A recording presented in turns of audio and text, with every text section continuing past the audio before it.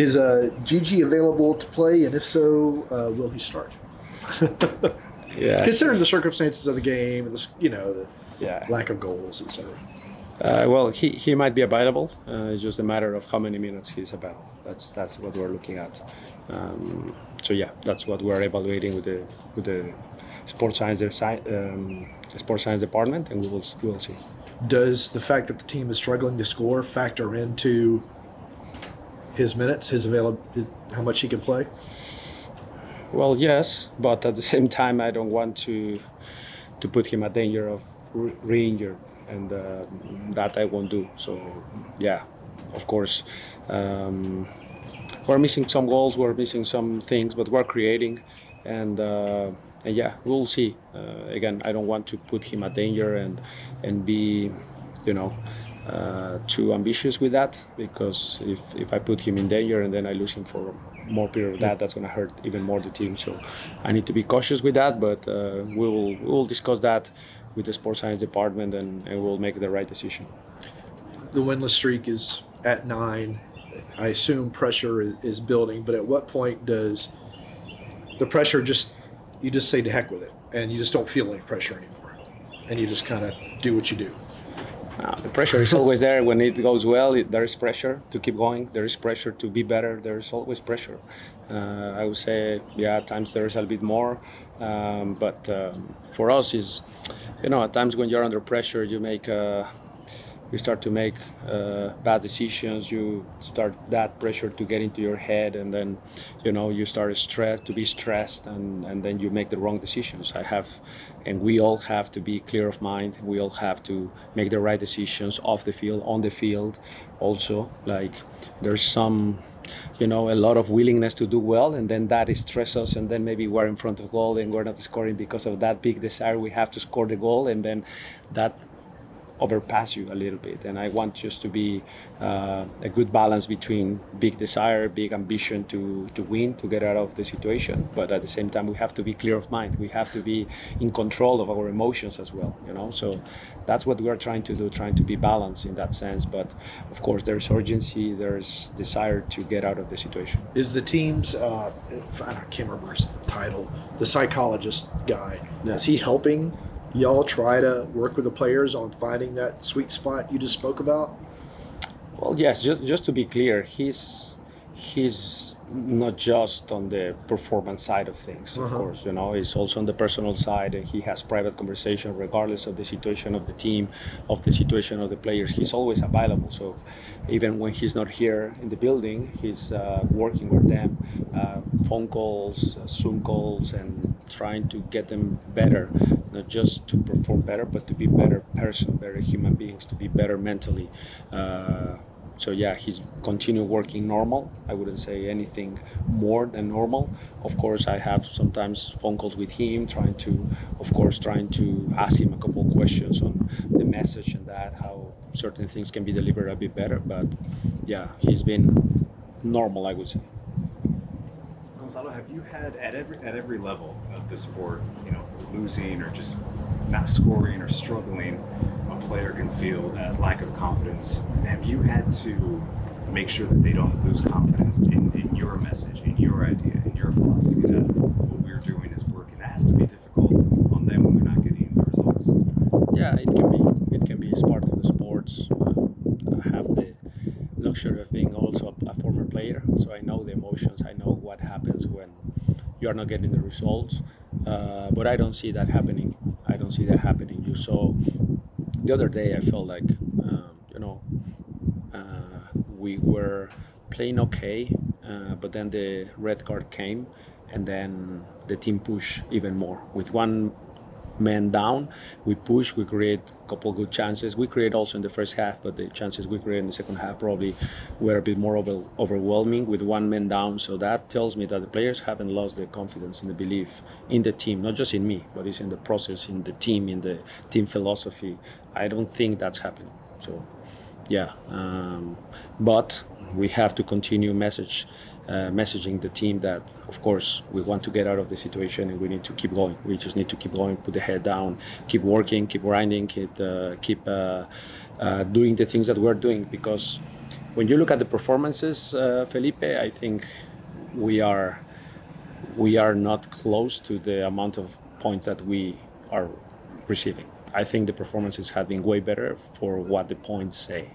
But of course, we are in a situation where the goals that probably shouldn't be conceded are being conceded, and the goals that should be scored are not being scored and that's where you define the, the points. So uh, we just need to do better there. And uh, but we're in that moment where uh, we just need to keep going, keep trying, keep uh, creating chances, keep going with that, and then eventually everything is balanced. Sometimes you have to, as you know, who said uh, you have to drink a bit of poison, you know, and uh, and at the end of the days, everything is balanced when you uh, believe in the process and in what you are doing. So we are in that process of continue what we're doing, trying to do it better, especially in the in the boxes where I think we need to to do a little bit better. But uh, yeah, again, we lost a couple center backs we lost a couple of strikers.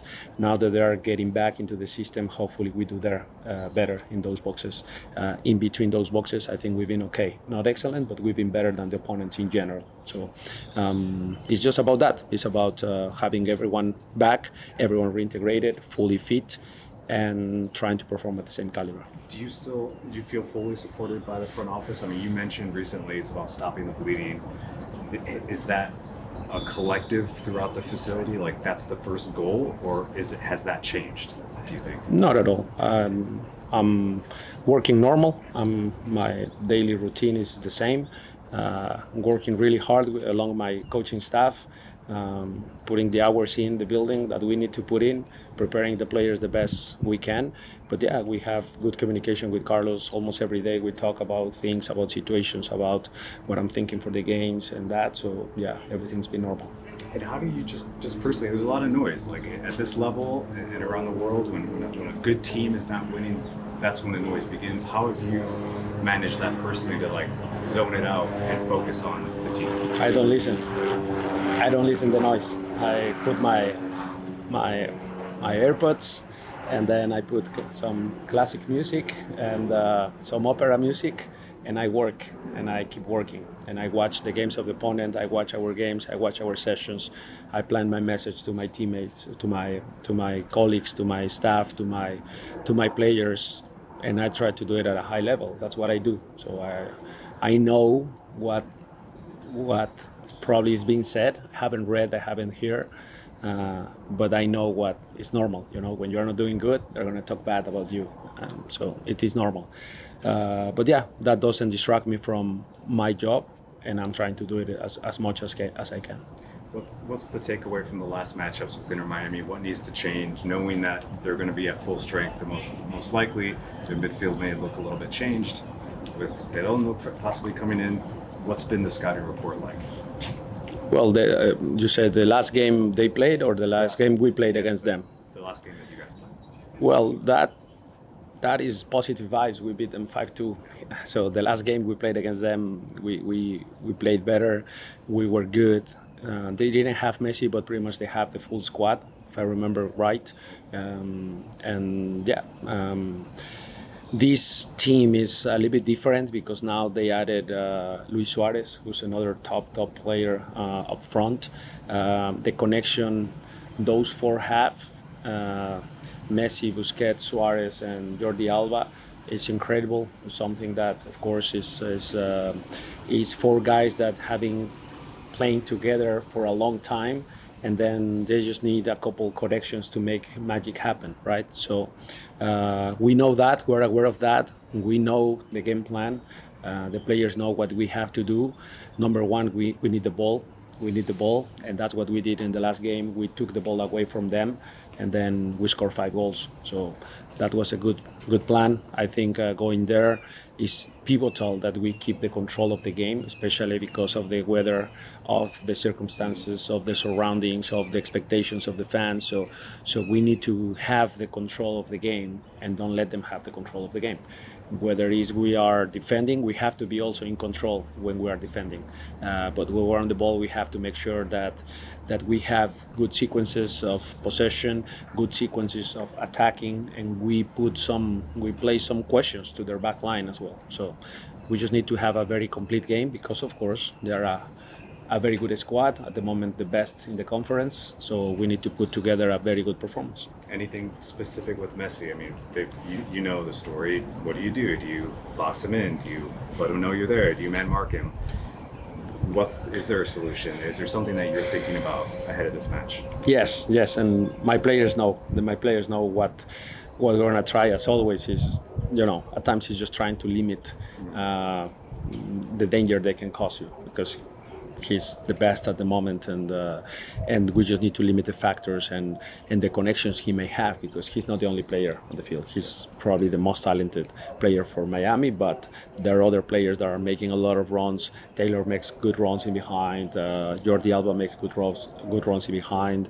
Of course, Suarez. Of course, Rojas, uh, um, Gressel, good delivery from from the flank.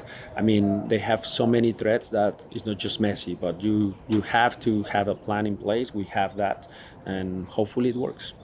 Just time for a few more. Will Madison, Jason, and uh, Um, you have a lot of key players returning, Derrick Williams being one of them. How does that impact the strategy going into tomorrow's game? Yes, it, it impacts. Um, uh, of course, there's always this understanding that when they are coming back from injuries, they are limited in certain ranges of minutes. Um, depends of the player. Uh, the time that they spend away from training regularly uh, takes place into also how many minutes but having them back of course is good also for the mental side of things. I think you guys have noticed how much Stian Gregersen playing 20 minutes in one game impacted the whole building and the whole team just with uh, just with his presence. So at times it's just those 20 minutes from some players that are coming back, some 30 minutes, some 60 minutes. It's just very important for the mentality of the team. Oh, oh we are again, we are again uh, to full close to be full strength. So that is positive. In a game like this one, how do you strike the balance between the opponent and their quality and staying true to the way that you want to play with this group? Yeah, I, I would say that, especially this year, we we try to message more about us than any other opponent. It is the case that now we're facing Inter Miami and they are in first place and they have Messi and Luis Suarez and Jordi Alba and Busquets, but. Um, but we are trying to focus on us. We're trying to focus on us. Of course, we have a game plan, uh, but not just to stop them. It's a plan to try to do well in there. Um, uh, but also being smart, being smart in that field because we know the circumstances, we know how it goes, we know, you know, the vibe that is in that building when Messi is on the field and the fans and all these and the heat, the humidity. So we just need to be smart and understanding what type of game is the one that put us in the right place to win. And uh, and yeah, I think the players understand the, the game plan, and it's just a matter of execution.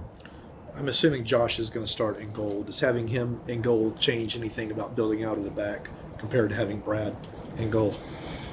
Not, not really. We haven't uh, messaged anything differently. Honestly, he's been very good. He's been improving a lot in the in the in the you know in the positioning of himself because more than anything at times is the positioning to be aware of the surroundings and, and the angles that he is taking he's a left-footed so he's in that sense even the same um, his range of pass in certain areas that we like to unbalance the opponent are, are very good uh, and it's just a matter of at times just confidence but uh, but he's doing very good uh, we haven't changed in the open cup games that he's playing normal um, so yeah, we expect uh, pretty much the same.